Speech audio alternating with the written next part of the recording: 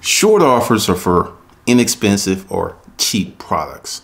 It's for an ebook. It's for an audiobook. It's for something under a hundred bucks. Now, short offers have their place because I use them all of the time. I'll, if I have something that I know that's going to be like super economical, I'll do a short offer. It's not a lot of hype. It's just like, this is what it is. This is how much it is. And click this button and get it. And they do very, very well. But I'm transitioning my business from short offers. Now, this isn't a step that you should leap over because I know you want to make money. Let's talk about short offers. Let's talk about crafting a short offer. Short offers have their place and I use them all of the time. A short offer is best for a product that's under 100 bucks. Um, really cheap stuff, ebooks, audiobooks, anything that you can sell for under 100 books. Uh, the cheaper, the better for it to convert.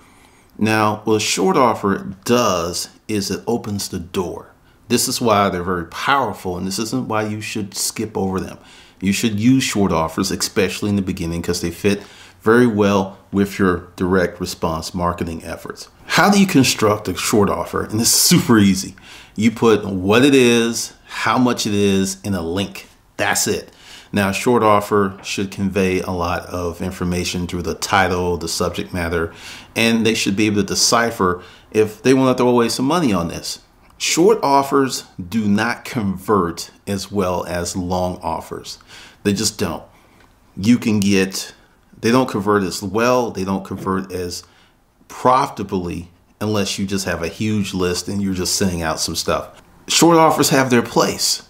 They're great for getting you started and you should make a lot of them because one word can make the difference between it converting or not. So you don't have a lot of room.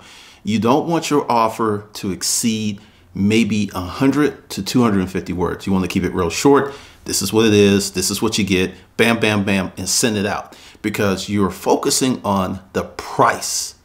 That's what's the big deal. So 9.99, 15 bucks, 25 bucks, you can convert them really well. Now, here's something else you should know. If your offer is not sophisticated, you could alienate some members in your audience. Let's say you've been internet marketing two, three years and you've got some players in your audience and you put out a $25 ebook. Well, some of these people may feel like that's beneath you and then they will lose respect for you. So you, you got to be really careful with the short offers and the inexpensive offers because if you're building up a book of business and let's say 30 to 40% of your audience will buy your higher price stuff, you really got to be careful with the short offers. List segmentation is very, very important. I'll let you know how I do it. I have the text notification list.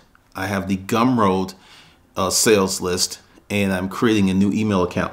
Now, the new email blast list is very, very young, and it's not a lot of people on there. But the people who are on there probably will convert. I haven't sent an email.